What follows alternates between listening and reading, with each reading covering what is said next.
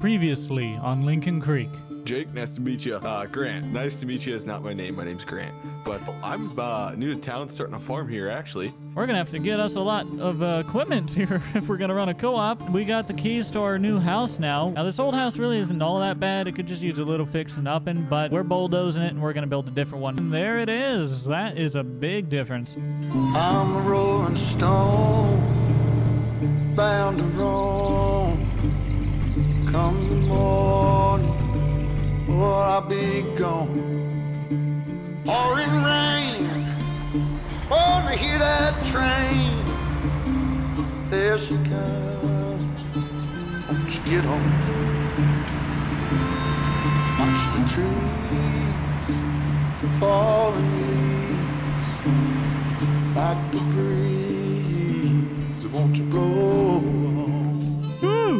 a shower. All right, we better get up to work. We're running a little behind. Grab some coffee before we roll here, and we've got no time for anything else. Make sure we lock up the house. All right, let's get on up to work, shall we? So today, we are going to be working on a lot of stuff up at the co-op.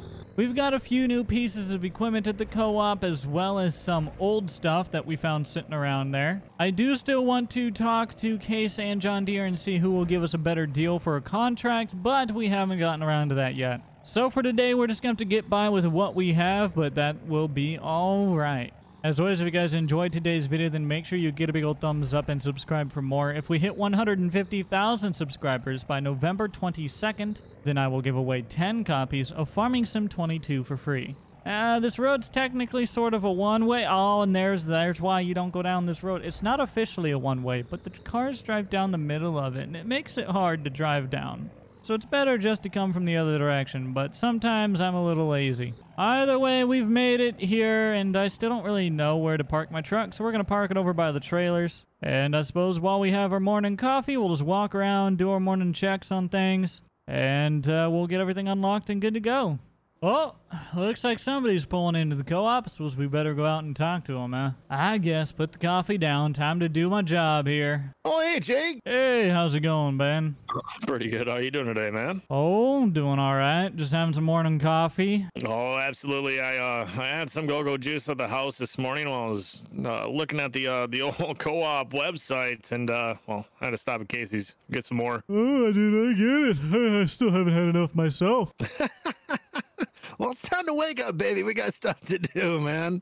Oh, what can I do you for? All right, so I see we got an order of Stine, order, order of Agrigold, Prairie, and DeKalb. So that's four units total of seed and uh, and then fertilizer. You got two units on that, Yes, sir. and looks like you also ordered a a load of fuel. Oh, yep, yep, yep. I ordered that diesel fuel as well. All right, King. Yep, there it is. You got two bags right over here. All right, sounds good. I'll let you go ahead load that, and I'm gonna go over and I'm gonna pull a uh, tender over this way to get the seed boxes all ready to go and loaded up. All right, copy that. Hey, one last thing too. Uh, you guys got lime here as well, right?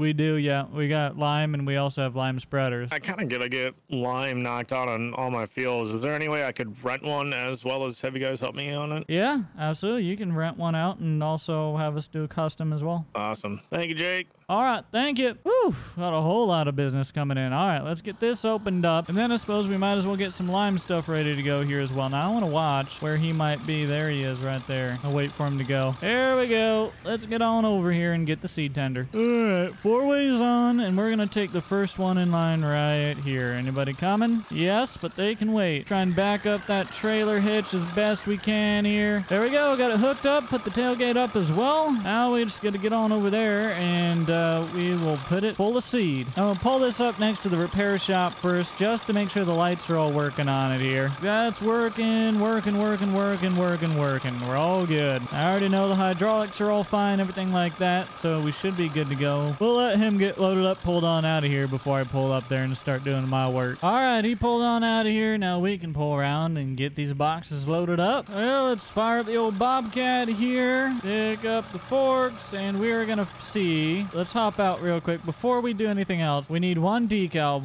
one Stine, one Prairie, and one Agrigold. So one here, one here, one here, one here. That ought to be fine. And let's see if we can line that right on up and get it picked up here. Look at that skill. Right on off the back. Woo! A little much. Perfect. All right, let's get this thing loaded up. Now, we've already got these loaded with seed. This is a climate-controlled uh, building here. So we should be able to just pull right on up here and get these put onto this. All right, there we go. Got them all put up onto the tender. We're going to put the Bobcat away, and then I'm going to double check the boxes and make sure I got them right. So just running back over here, do a final check. Got Stine, got Agrigold, then we got Prairie and DeKalb. Those are the orders. Fantastic. So let's just take this and we are going to put this back into our little climate controlled building here. So we'll drop that off there. We'll close these back up and we'll have to tell him that uh, that's where his stuff can be found. Now we need to get hooked up to this fuel trailer because one of the last things that he has ordered from us is a load of fuel delivered to his farm. So we've got to get that hooked up and hauled down to him. So we'll hook up to our trailer here and uh, we'll hit the road. All right, we're pulling on in here. Maybe. I, I'm not going to make that turn. We're going to have to try that one again. I will have to admit I was not ready for this uh, complicated of a turn. There's stuff on both sides of the driveway. I didn't want to take out his mailbox, which I absolutely was about to do. But we made it down here to King's Farm. We're going to get his fuel figured out for him. So step number one, I got to figure out where his fuel is. My guess it's down by the shop uh, where he fixes and stores equipment. And, ooh, oh, his shop is maybe right here because that would be the fuel. Oh, it's right on a bit of a bump. All right, King. Interesting barrel placement. We are going to have to back up a hillside here. So nice and easy up the hillside. Let's get this thing in optimal position to fuel him up without tipping it or anything. Well, looks like King just got here and I'm in his way a little bit. All right, we're uh, doing a pretty good job here. It's taken us a while to get him filled up. As you can imagine, he ordered a lot of fuel. All right, we are done here. Let's get on down the road, shall we? Well, we made it back to town. We're just in here waiting on traffic to us to uh, clear up so we can go around the proper way of getting into the co-op. But now we've got liming added to our schedule, so we're going to be uh, getting that all prepped to go so we can go help King out with his lime.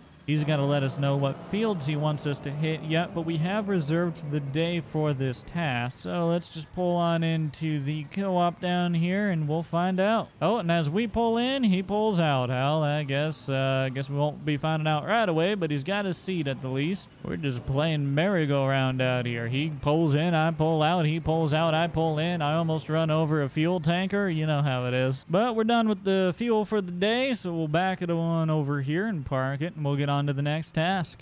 All right, up next, we need to prep a uh, couple lime spreaders here. So we're going to pull out the old Case MX 180 to do the job. Fire up. There we go. And let's go over and uh, get those prepped and ready to go here. So I know that I am going to want to run the big one because lime goes fast and this is going to be very, very much needed. So we all got it hooked up there, ready to roll. Now I know he said he's going to be back on his way. I need to figure out if he wants a big one or a little one for rent. He might as well just take the big one. They're like a $50 difference in the rental cost. We're going to pull right back here and find our lime station, which should be the one in the middle. And we've got our tarp opened up and we'll get this all loaded up. So right on underneath, just like so, that ought to do. There we go, got her filling up with lime. While that does that, I'm going to pull out my iPad here and update his account a little bit.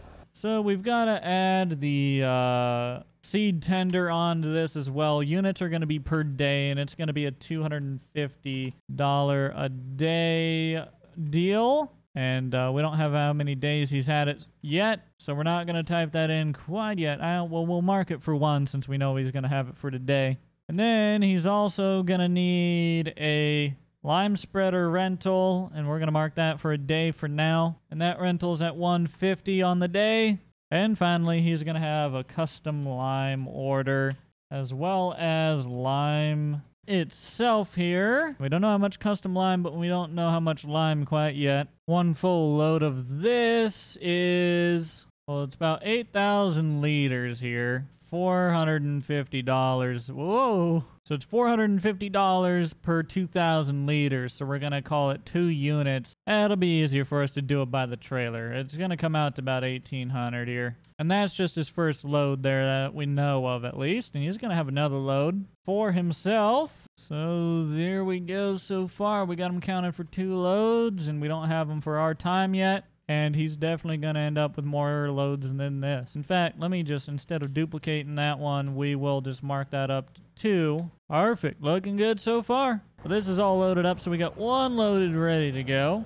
And we'll pull this around to the front yard here. We're not going to get the next one ready to go until he's here ready to use it. So that can sit right there, and uh, I think we are back to sitting around. So we got to wait for him to pick up the uh, lime spreader that he's going to rent from us, as well as tell us what fields we are going to custom line for him. So until we have that information, not much we can do. Let's sit around and do a bit of other work here. All right, guys, we've got everything we can do done here today so far. We've got to uh, wait around on King for the rest of the information. But next time, I think we will uh, go ahead and get out in the field, helping him out with that, hopefully. And I think we'll go up north and visit our old, well, our soon-to-be buddy at the uh, John Deere dealership. If you guys enjoyed today's video, then make sure you like and subscribe. And until next time, I'll see y'all later. Peace. I'm a rolling stone, bound to roam.